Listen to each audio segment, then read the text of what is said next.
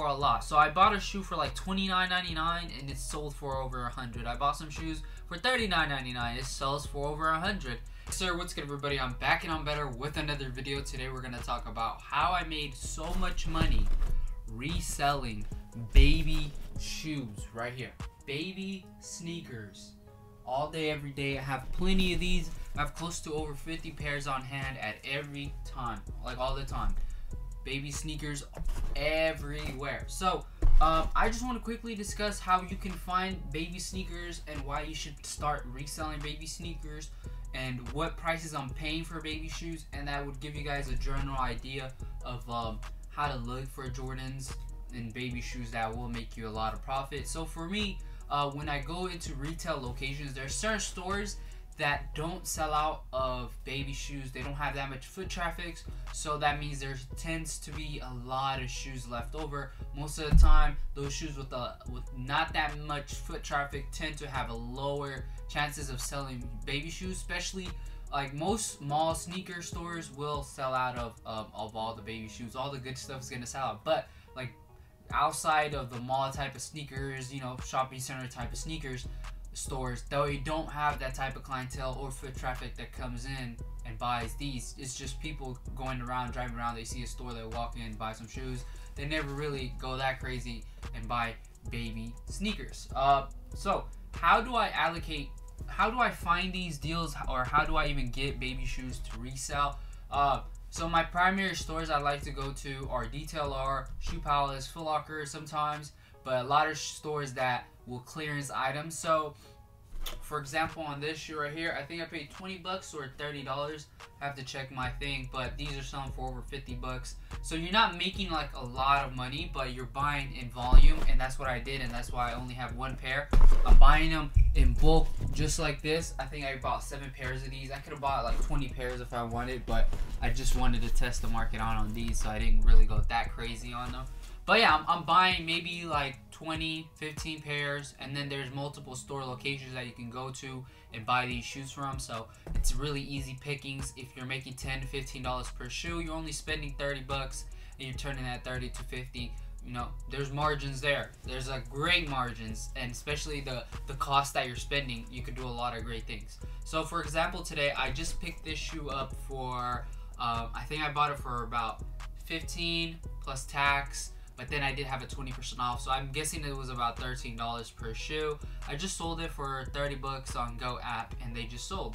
Um, you're always able to find a lot of these baby shoes on sale at every type of retail and brick or mortar sneaker store, and they will be so cheap, dirt cheap. You can just buy them, resell them. And so now, what kind of shoes do you pick up uh, when you're looking to flip baby shoes? So for me, I tend to stay close to the to the trendy trendy um how do i say this? I tend to stay close to the trendy year new sneakers that are coming out. So 2020 we had a lot of jordan 1s really being hyped up and selling out and stuff like that. So i focused on baby shoes um in those smaller sizes. Now i don't pay retail price. That's the thing guys. I don't pay retail. I only buy the shoes if it's clearance and there's margins for me to make some cash on, right? I just don't go into store on release day and buy baby shoes. That's stupid. I buy them once they go on sale, once they're clearance, stuff like that. Um, and that's how I got a bunch of these right here.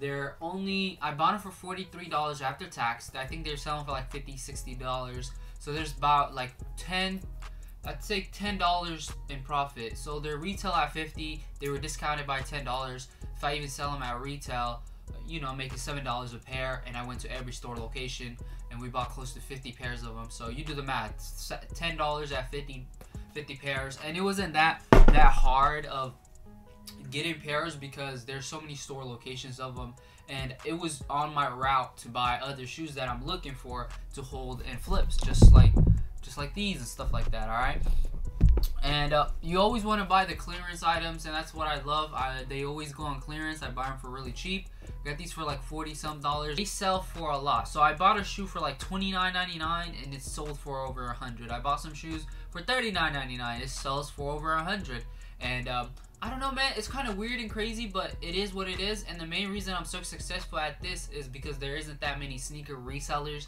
in that they sell for a lot. So I bought a shoe for like $29.99 and it's sold for over a 100 I bought some shoes for $39.99. It sells for over a 100 And um, I don't know, man. It's kind of weird and crazy laying or even wasting their time to list baby shoes on those apps. So that means there's thousands of people with kids going on to StockX, GOAT, and trying to find baby shoes, but there isn't that many resellers trying to sell the baby shoes, and that's how I'm able to make a lot of profit off of them.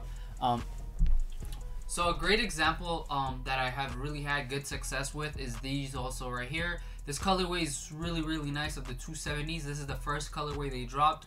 Everyone was liking these right here.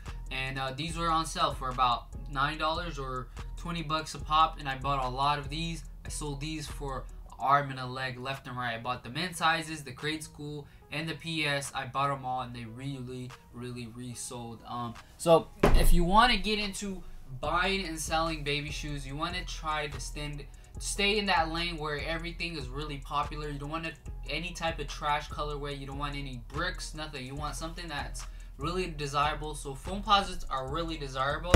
Um, and the retail on these is 50 bucks. So if I can buy them for 14 or 13 dollars after tax, hey, that's a bargain, bro.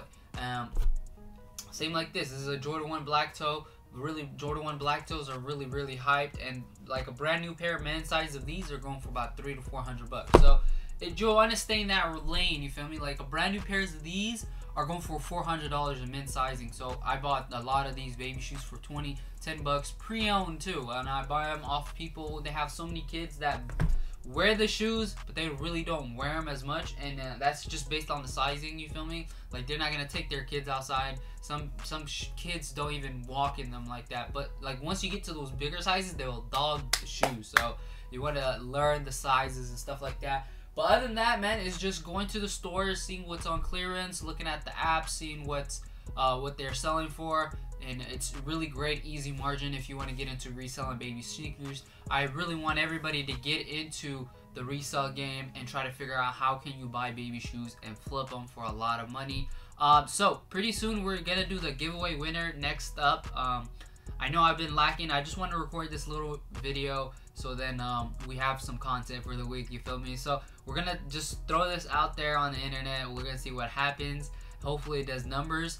Um, and it, always when you're reselling baby shoes, you want to find something that's garbage. So I bought these for nine dollars a pop, and I could easily sell them for twenty three. Well, I did sell them for over twenty three dollars. So it's really profitable, but you just have to figure out the lane you want to get into, the stores that will have the product that you're looking for, and it takes a little bit of a time and trial and error. But you once you put in the hours, that's when you're gonna see a lot of success in this game. It's not an overnight type of thing. So get out there, grind, find the baby. Lee Is take you guys over um, to my baby shoe section. So then we have a 10 minute video. Okay, so here are all my baby shoes right here.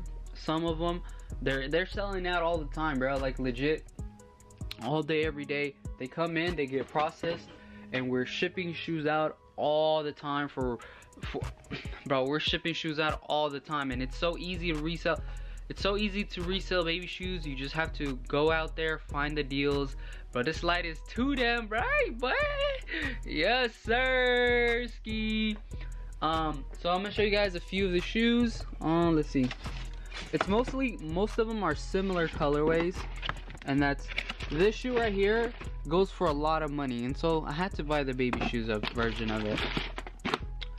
And I think these are all black toes right here. Oh, nah, these, these is it. This is it. This is, these are selling for a lot of money too. So I had to buy them, flip them. And it's just versions of really popular shoes that go for a lot. These are black toes. Think these are something else. sheesh. Sheesh. Oh yeah, these are some Jordan 4s right here. The What the 4s. Really popular shoe. Sheesh.